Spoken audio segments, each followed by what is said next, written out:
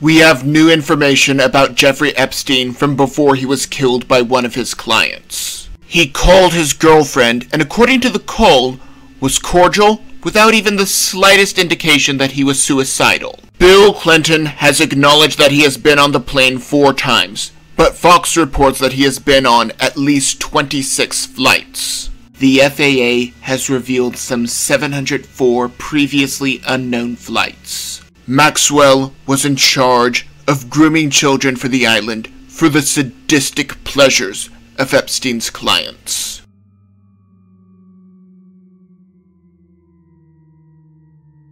However, the real thing that we need to learn from the trial is this.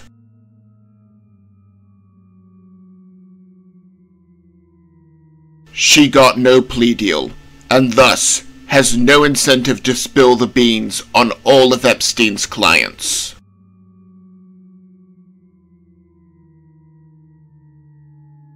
Most of whom probably already have another source lined up. This was taken from my weekly news rundown. Click the video on the left to see the whole video, or click on the right for a video that you might enjoy. And don't forget to subscribe.